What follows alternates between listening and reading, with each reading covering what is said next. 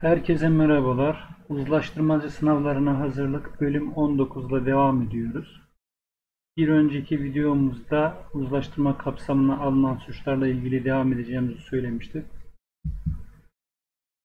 Türk Ceza Kanunu'nda uzlaşma kapsamına alınan suçlar e, kasten yaralama suçu, kasten yaralanması ihmali davranışla işlenmesi, taksirle yaralama suçu, mal varlığı için büyük bir zarara uğratacağından veya sair büyük bir kötülük edeceğinden bahisle tehdit, normal tehdit suçu, konut ve işleri dokunulmazlığının ihlal suçu, iş ve çalışma hürriyetinin ihlali suçu, kişilerin huzur ve sükununu bozma, hakaret suçu, fıkra A bendi, sadece fiil nedeniyle veya kısmen hakaret, kişinin hatırasına hakaret suçu, haberleşmenin gizliliğini ihlal suçu, konuşmaları dinleme ve kayda alma suçu, özel hayatın gizliliğini ihlal suçu, hırsızlık, kullanım hırsızlığı, alacağın tahsili maksadıyla cibir ve tehdit kullanılması, mala zarar verme, ibadethaneler ve mezarlıklara zarar verme suçu, hakkı olmayan yere tecavüz suçu, güveni kötüye kullanma, bedelsiz senedi kullanımı suçu,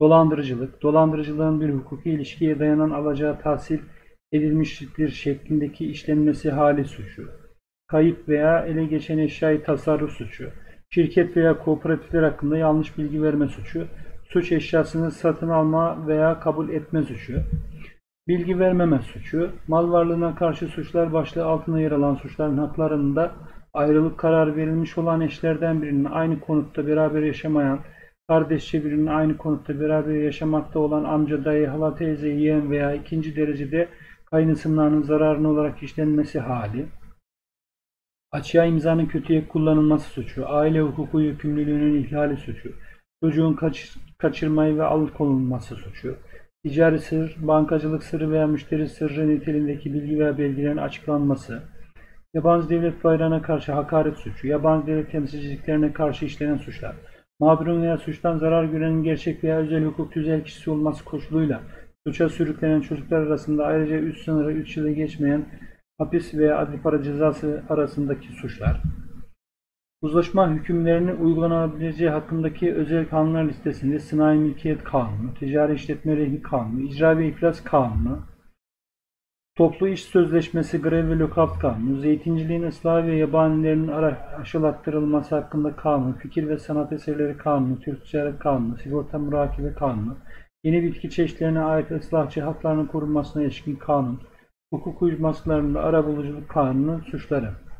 Uzlaştırma kapsamına alınmış ve uzlaştırmanın kapsamı her geçen gün daha da genişletilmektedir. Soruşturma aşamasında uzlaştırmaya başvurulması ve uzlaştırma teklifi, suçun işlendiğine dair yeterli şüphe oluşturacak delil konusu, Uzlaşma kamu davası açılmasının bir alternatiftir. Bu yola başvurmak için öncelikle soruşturma konusu suçun işlendiğine dair kamu davası açılmasını gerektirir. Yeterli şüphe oluşturacak delilin bulunması gereklidir.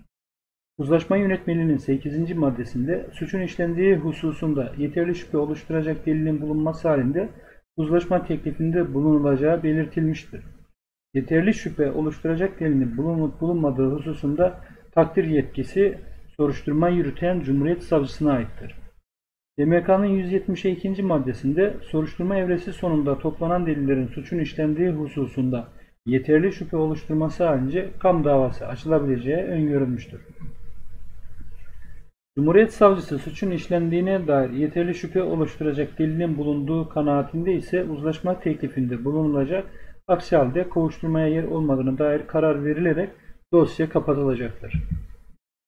Soruşturma konusu olayda şüpheliye atılı suçun uzlaşma kapsamında olup olmadığının takdir yetkisi yine Cumhuriyet Savcısına aittir. Soruşturma Cumhuriyet Savcısı atılı suça ilişkin olarak yapacağı hukuki nitelemeye göre suçun CMK'nın 253. maddesinde öngörülen uzlaşmaya tabi suçlardan olması halinde taraflara uzlaşma teklifinde bulunulması için dosyayı uzlaştırma bürosuna gönderecektir.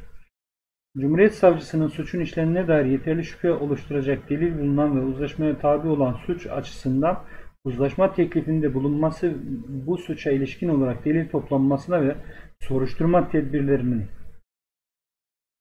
uygulanmasına bir engel değildir. Soruşturma konusu suçun uzlaşmaya tabi olması halinde uzlaşma prosedürü uygulanmaksızın veya usulüne uygun uzlaştırma yapılmaksızın kamu davası açılması iddianamenin iadesi nedeni olduğu gibi aynı zamanda mahkeme kararları açısından da kanun yararına dosyanın yani bozulması nedenidir. Taraflara uzlaşma teklifinde bulunulması Soruşturma konusu suçun uzlaşmaya tabi olduğunun tespiti halinde CMK'nın 253'e 4. maddesi gereğince tevdi edilen dosyanın uzlaştırmacısı tarafından şüpheliyle mağdur veya suçtan zarar görene uzlaşma teklifinde bulunulur. Uzlaşma teklifi yönetmeliğin ekinde yer alan ek 1A ve ek 1B sayılı uzlaşmanın mahiyetiyle uzlaşmayı kabul veya reddetmenin hukuki sonuçlarının bulunduğu uzlaşma teklif formlarının hazır bulunan ilgiliye imzalatılarak verilmesi suretiyle yapılmalı ve uzlaşma teklifinde bulunulduğuna ilişkin forumun imzalı örneğin soruşturma evrakı içerisine konulmalıdır. Ancak sadece uzlaşma teklifine ilişkin formların ilgilileri tebliği yeterli değildir. Kendisine uzlaşma teklif edilen kişiye formda yer alan bilgiler açıklanmalı ve uzlaşma uzlaşmayı kabul edip etmemenin hukuki sonuçları ayrıntılı bir biçimde anlatılmalıdır. 5560 sayılı kanunla değişik CMK'nın 253. 4. maddesinde uzlaşma teklifinde bir öncelik sırası verilmemiştir. Tasarruf tamamen uzlaştırmacıya bırakılmıştır. Yani e, uzlaşma teklifi mağdur veya suçtan zarar gören tarafından da başlanılabilir ya da şüpheli tarafından da başlanılabilir. Bu nedenle sıra gözetilmeden taraflardan herhangi birine uzlaşma teklifinde bulunulabilir. Uzlaşma teklif edilen tarafın uzlaşmayı kabul etmemesi halinde diğer tarafa da uzlaşma teklifinde bulunması zorunlu değildir. Zaten diğer tarafa uzlaşma teklifinde bulunmasının bir anlamı da kalmamaktadır. Uzlaşma teklifinde bulunmak için çağrı, telefon, faks, elektronik posta gibi araçlardan yararlanma suretiyle de yapılabilir.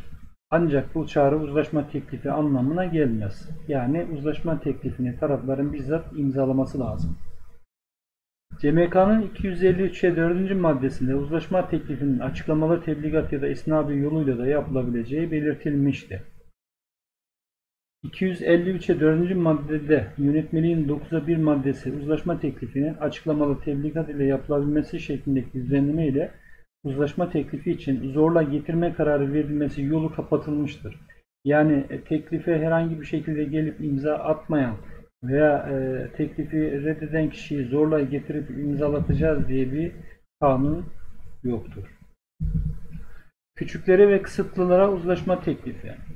YMK'nın 253'e 4. maddesinde şüpheliyle mağdur veya suçtan zarar görenin reşit olmaması halinde uzlaşma teklifinin kanuni temsilcilerine yapılabileceği belirtilmiştir. Uzlaşma yönetmeliğinin 8'e 2 maddesinde ise reşit olmama yanında kısıtlı olma veya ayırt etme gücünün bulunmaması durumunda da uzlaşma teklifinin kanuni temsilciye yapılması belirtilmiştir.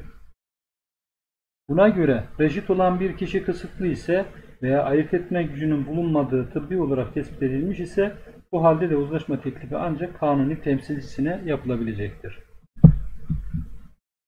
Mağdur veya suçtan zarar gören vekiline ya da şüpheli müdafiine uzlaşma teklifi Uzlaşmayı düzenleyen CMK 253. maddesinde ve uzlaşma yönetmeliğinde şüpheliyle mağdur veya suçtan zarar görenin vekil ya da müdafiine uzlaşma teklifi yapılabileceğine ilişkin hüküm bulunmamaktadır. Buna göre uzlaşma teklifinin bizzat şüpheliyle mağdur veya suçtan zarar görenin kendisine yapılması gerekmektedir. Teklifin tebligat ya da isnabe ile yapılması DMK'nın 253'e 4. maddesinde Cumhuriyet Savcısının uzlaşma teklifini açıklamalı tebligat ya da isnabi yoluyla yapılabileceği belirtilmiştir. Ancak yetki alanı içinde bulunan tarafa açıklamalı tebligat yoluyla uzlaşma teklifinde bulunulabilir.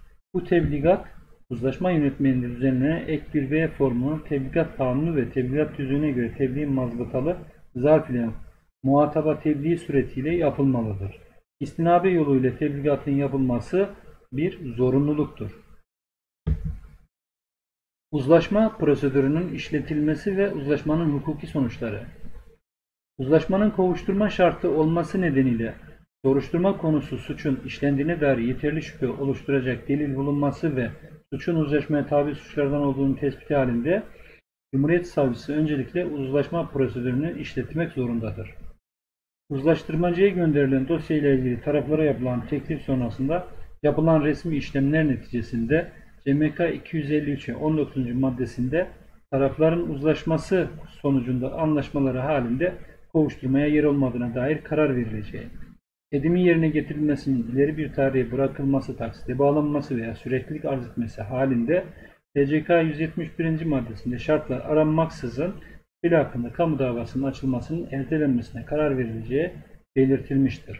Bu nedenle soruşturma konusu suçun uzlaşma kapsamında olması halinde önce uzlaşma prosedürü uygulanmalı, uzlaşmanın başarılı veya başarısız olmasına göre dosya hakkında yeniden değerlendirme yapılarak adli işlemlere devam edilmektedir. Uzlaştırma sonucunda uzlaştırma tarafların kanuni temsilcisini ya da vekilin müzakerelere katılmaktan imtina etmesi veya sözlü olarak uzlaştırmadan vazgeçtiğini bildirmesiyle sona erer. Hazırlanacak raporda her ne şekilde uzlaşıldığı ayrıntılı olarak açıklanır, süreç doğru ve eksiksiz belgelendirilir. Uzlaştırmadan sorumlu Cumhuriyet Savcısı uzlaştırma raporunda eksikliği bulunup bulunmadığını inceler, denetler, Cumhuriyet Savcısı rapor sonucunun özgür iradelere dayandığını ve edimin makul, hukuka ve ahlaka uygun, ölçütlere tam uygun olduğunu belirleyerek raporu mühür ve imza altına alarak uzlaştırma işlemleri burada neticelendirilmiş olur. Herkese başarılar diliyorum. Abone olmayı unutmayınız. Abone olanlara da teşekkür ediyorum.